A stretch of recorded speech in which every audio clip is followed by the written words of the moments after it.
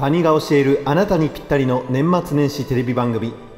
今年の大晦日は何を見ようか迷っているあなた。こんにちは。カニです。これから私がする質問にイエス・ノーで答えていくだけであなたにぴったりのテレビ番組がわかるわ。それじゃあ行きます。いや行かせていただきます。第1問。お笑いが好き。よく考えてみれば横にしか歩けないなんてその時点で私たちってお笑い草ね。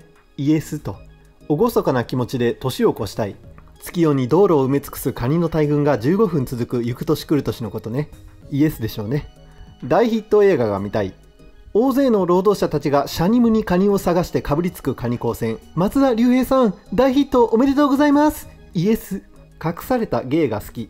確かに確かに。普通のカニを買ってきたと思ってパカッと開けたらまあうち子卵がいっぱい。なんて素晴らしいサプライズよね。イエス。さんまと木村拓哉の掛け合いが見たいがサンバイズの掛け合いも見たい。さっと描かれたビッグタレントたちがサンバイズをお互いに掛け合うともうさっぱりといただけます。イエス。ジャニーズにカウントダウンされたい。卵の数をジャニーズたちが数えていきます。2万からカウントダウンで年をまたぐはイエス。スポーツが好き。カニ宿白浜荘の女将みっちゃんはカニ向き日本一の称号を元旦の国立競技場でいただきました。イエス。決まった。あなたにぴったりの年末年始番組は新春オールスター境港水産物直売センタービデオだより。来年もたくさんカニが水揚げされます。じゃあねカニでした。バイバイ。